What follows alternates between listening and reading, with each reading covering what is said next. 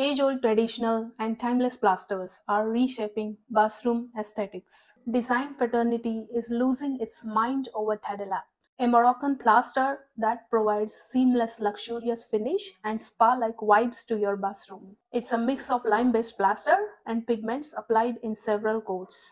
This plaster is compacted and polished in a certain type of environment and then finished with soap to make it water repellent. Obviously, it is not cheap, highly labor intensive and requires skills and experience to achieve perfection.